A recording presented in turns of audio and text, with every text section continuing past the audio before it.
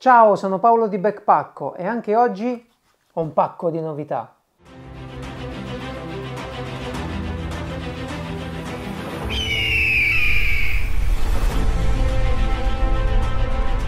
Benvenuti al Bar Pacco, l'appuntamento settimanale del venerdì mattina dove facciamo colazione insieme, dove guardiamo i nuovi prodotti, le iniziative e le offerte di Backpacco. Prima di cominciare con tutti i prodotti che vedete qui, lo sapete, ho già in mano il mostro. Avete visto il video? Questo è il coltellone che abbiamo disegnato insieme a Dario Trifelli e l'orso dei lunghi coltelli ed è pronto. Per chi non sapesse di cosa sto parlando, ecco il trailer dell'ultima puntata. Ciao, sono Paolo di Backpacco e oggi è Blade in Italy. E la colpa ovviamente è dell'orso dei lunghi coltelli che ha deciso di andare in vacanza in Africa. Sto specchio non ha mai visto una faccia più bella. Oh. Qualcuno arriva in ritardo a volte e dice ma sai aspetta aspetta potevate farlo più. Ormai il treno è partito. Eccolo! E scazzi pure! veramente, è veramente un gran coltello. Leva le mani dal culo però. Beh, guardiamocelo un'altra volta, il frutto del Blade in Italy, il coltello che ancora non ha un nome ma ha mille talenti. Fodero in Kydex con l'appoggio per il pollice, guardate che meraviglia.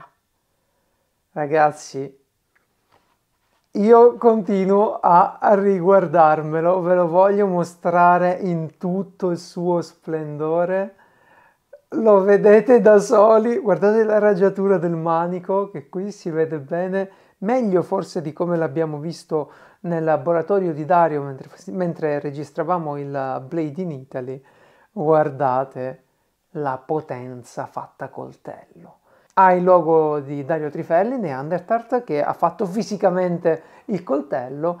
Qui c'è anche quello dell'orso dei lunghi coltelli che ci ha dato una mano con il caffè, ciao orso, e il logo di Backpacco. Dovreste riuscire a vederli, anzi ve lo faccio vedere tutto così da vicino. Spero, guardate che bello. È talmente bello, è talmente fatto bene, fatto con amore che io questo non lo userò. Questo esemplare specifico, questo coltellone qui rimarrà a far parte del barpacco, dovrò trovare un bel modo per appenderlo, ma lo voglio assolutamente sempre con noi. Come sapete adesso, ad oggi, non ha ancora un nome.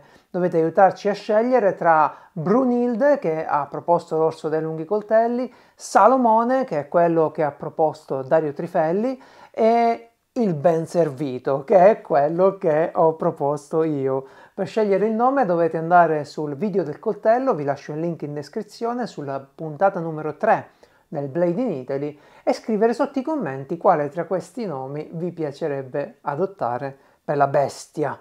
Questo esemplare specifico io non lo userò, però Dario me ne ha già fatto un altro, che è quello che invece riserveremo al test nel bosco, dove studieremo insieme le performance della geometria, della manicatura, dei materiali. Ovviamente dotazione backpack con questo è il mio quindi c'è il mio acciarino di Exotac ma poi tutti i dettagli su come questo coltello sarà distribuito sugli accessori che verranno forniti insieme e come appunto ordinarlo, acquistarlo, beh, li avremo dopo il test definitivo, perché il prodotto arriva su Backpacko solo dopo il test definitivo. Vi rimando al Blade in Italy 3 che trovate qui sotto e godetevi nei dettagli la discussione su questo progetto.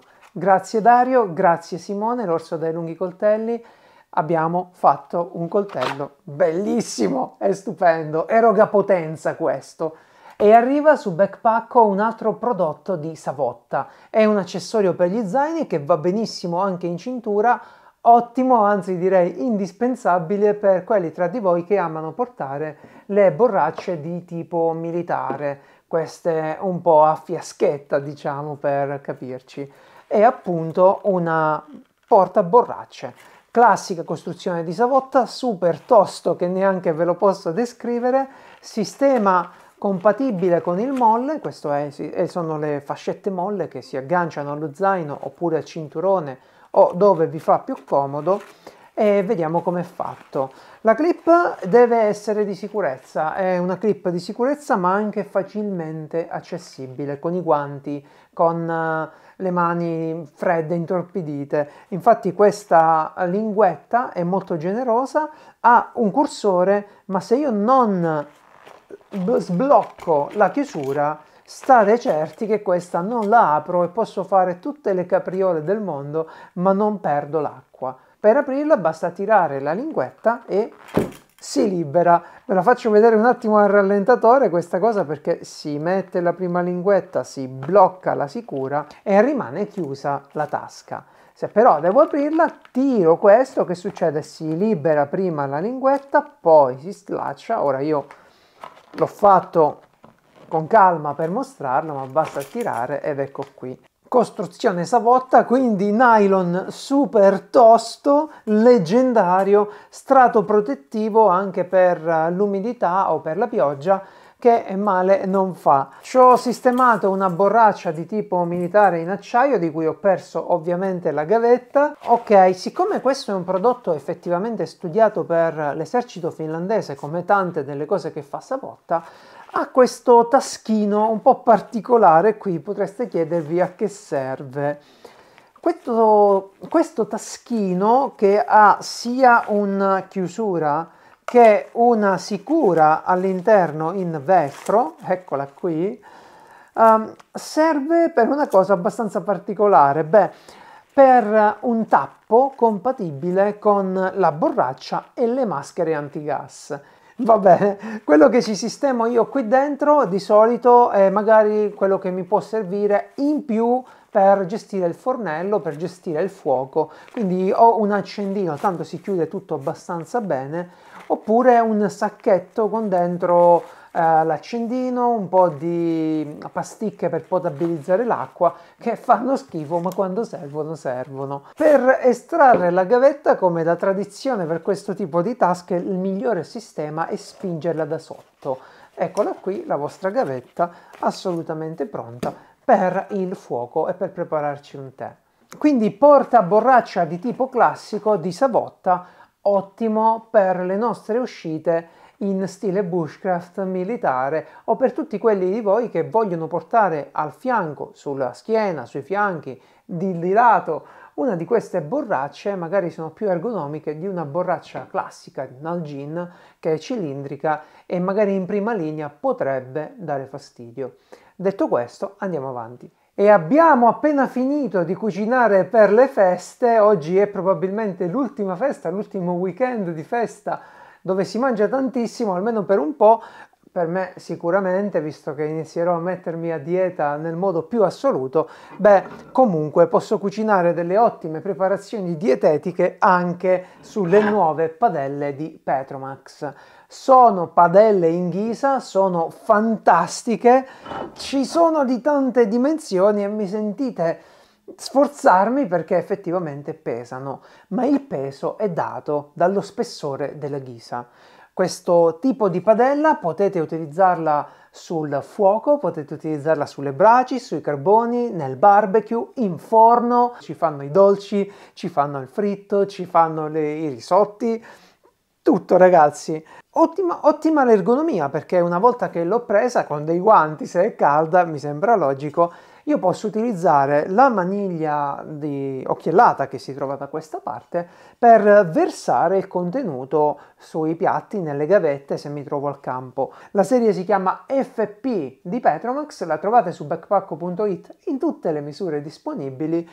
Guardatevi bene le caratteristiche, non lasciatevi ingannare da altri produttori che magari fanno sì padelle di ghisa, però molto sottile. La ghisa vi offre un grande vantaggio in cottura se è sufficientemente spessa da riscaldarsi in modo omogeneo, fatta bene, senza cricche all'interno e soprattutto diffondere il calore. Ragazzi, Petromax ha fatto un'altra opera d'arte e la trovate su backpacko.it. Beh, sapete cosa? Presto ci facciamo un grill pacco, magari dietetico, magari solo petto di pollo e broccoli, però lo facciamo con queste fantastiche padelle. Oppure guarderò mio fratello cucinare e basta, vi racconterò com'è. Ma oggi è anche Palcedì e torna Helicon Tex con un'altra patch della sua serie favolosa Birdman, l'uomo barbuto che stavolta è in missione in giungla. Si è truccato il volto, ha indossato un buni dietro di lui due bellissimi coltelli tipo Kabar, è pronto per ogni missione. Ecco un altro Birdman disponibile su backpacco.it.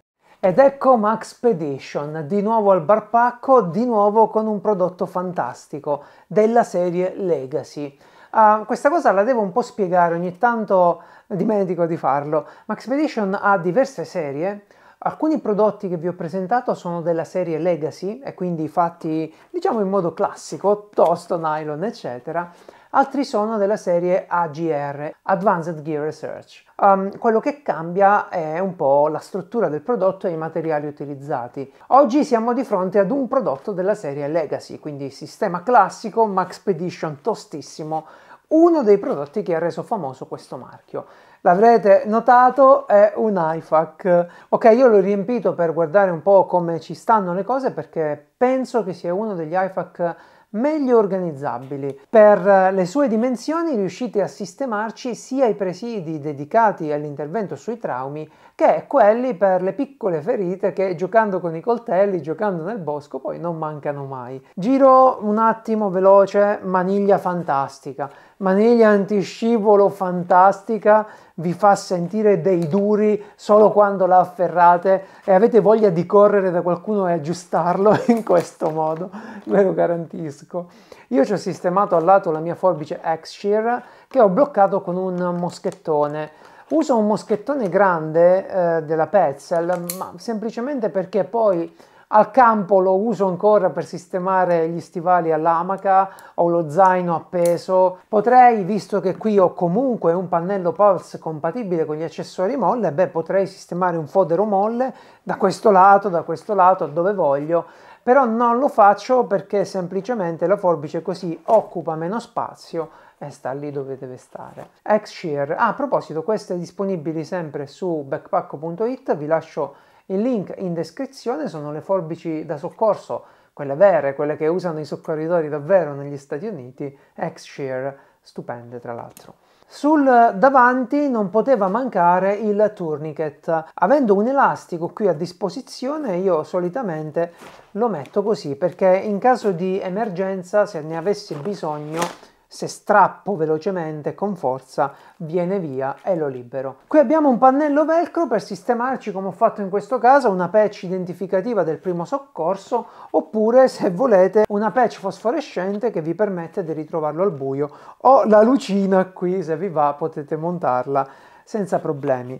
Di lato altra pannellatura molle, io ci ho sistemato un pennarello Sharpie utilissimo per compilare questa parte del tourniquet perché quando si applica un tourniquet vuol dire che poi bisogna anche segnalare l'orario. Beh per imparare queste cose però ci sono i corsi, non io su YouTube sicuramente non sono adatto, ma un pennarello accompagna spesso un tourniquet. Qui troviamo anche due anelli di ring, si chiamano, sono a forma di D, sono tostissimi per eventualmente applicare altri accessori o agganciare questa con un moschettone. Sul retro arriva in questo modo, c'è un pannello Pulse, è compatibile con il sistema molle ma per agganciarlo agli zaini vi servirà un accessorio che non arriva insieme al prodotto ma lo trovate su backpacco.it, sempre sulla pagina dei prodotti della linea Legacy sono dei passanti in plastica che si vanno a far eh, passare in qualche modo qui e ovviamente dall'altra parte nello zaino oppure il contrario ve li sistemate come vi pare la cosa buona è che una volta sganciati se tirate forte vi liberano il kit medico e potete portarlo dal, dal ferito nella zona in cui vi serve senza dovervi portare per forza tutto lo zaino che magari pesa ed è ingombrante. Zip YKK che sono un amore, belle grosse e toste, ma anche l'apertura, perché non c'è niente di peggio di avere un iFac e poi non riuscire ad aprirlo quando serve. Come vedete l'ho aperto e rimane in questo modo perché ha un'apertura a conchiglia regolabile attraverso questo cordino di tensionamento. Ovviamente se lo rimuovete o se lo regolate diversamente, quando la aprirete si aprirà in questo modo. Ecco, una cosa che mi piace davvero tanto di questo iFac è che ti permette di portare sia gli oggetti indispensabili per la gestione dei traumi importanti, quindi gestione delle emorragie, delle perforazioni, degli shock anafilattici, insomma tutte quelle cose dove bisogna intervenire in secondi, non in minuti, ecco queste le abbiamo a disposizione. Una benda israeliana che è di quelle grandi, uh, altri bendaggi per zaffature come vedete ci sta di tutto. Se invece preferite portare le bende quelle arrotolate, anche quelle trovano posto doppio elastico. Guardate quanto è grosso questo elastico, quanto è tosto. Eh, non bisogna mai dimenticare la gestione delle emorragie eh, con il Celox, così come gli, i chest seal, i cerottoni per lo pneumotorace e non devo neanche dirlo la EpiPen per gli shock anafilattici. Queste cose le devo trovare immediatamente nell'iFac, non è negoziabile questo, non ho minuti, non ho secondi da perdere, devo trovarle e quindi voglio un iFac che mi permetta, voglio una pouch che mi permetta di trovare i presidi salvavita, li voglio a disposizione. Ho una torcia che può essere utile sempre per guardare meglio quello che succede, qui trova posto un bisturi, ma solo per farvi vedere quanto anche le piccole cose, i piccoli oggetti si vanno a collocare in un sistema fatto bene, pensato bene per gli elastici, i compid per i piedini delicati, guanti da officina, quelli tosti per eh, maneggiare le ferite nel bosco e qui ci sarebbe anche un gancetto per eh, eventualmente sistemare qualcosa. Da quest'altro lato trovate un taschino con la cerniera e io ci ho messo delle salviette, quello che mi pare. Una cosa bella di queste pouch quando sono fatte bene è che vi permettono di allocare tutto, guardate quanti elastici, guardate che elastico enorme, qui ci puoi sistemare tutto, taschino retinato, è tutto estremamente solido. Se io mi mettessi adesso che voglio romperla questa, mi rompo io, statene certi. Ecco, la cosa, la cosa, interessante di questo tipo di pouch, vi dicevo, è che vi permettono la massima personalizzazione. Quindi Max Medition FR1 disponibile su backpacko.it in un sacco di colori. Questo è il loro khaki, il sand o come mi piace chiamarlo, il verde o di green dovrebbe essere, black, foliage green se non sbaglio e anche il grey wolf. C'è anche rossa, ma quella arriverà in un secondo momento. Quindi gli altri dettagli su questo prodotto poi li trovate sulla pagina dedicata che vi lascio in descrizione. Ma se dovesse capitare un problema in natura e non abbiamo il fatto apposta, come possiamo risolverlo? Beh, ci aiuta il nostro integratore di sicurezza con un'altra pillola di Medpacco. A te la linea, Daniele. E voi? Come fermereste una piccola emorragia in mezzo alla natura? Qui davanti a noi abbiamo della plantago lanceolata, ovvero sia della piantaggine. Ha diverse proprietà antinfiammatorie, antibatteriche, antitussive ed espettorante. Parliamo ovviamente di antinfiammatorio per l'apparato respiratorio, ma a noi interessa un'altra cosa, come potremmo eventualmente fermare una piccola emorragia qualora fossimo in mezzo al niente. Tra le altre cose, siamo davanti alla bellissima rocca di Respampani. Per poterla adoperare come emostatico, prima ovviamente diamo una bella sciacquatina, dopodiché la dovrò masticare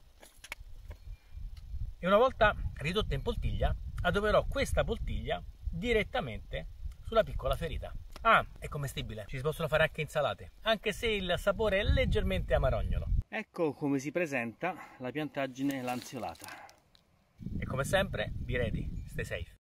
Bene, anche per oggi è tutto, io vi ringrazio per essere stati con me, vi ringrazio perché preferite Backpacko, se non volete perdervi neanche una delle prossime puntate, beh iscrivetevi al canale, schiacciate sulla campanella e riceverete una notifica ogni volta che è pronto un nuovo video. E se il video vi è piaciuto condividetelo con gli amici, condividetelo sui vostri social, facciamo crescere la community di Backpacko per diventare sempre migliori. Alla prossima!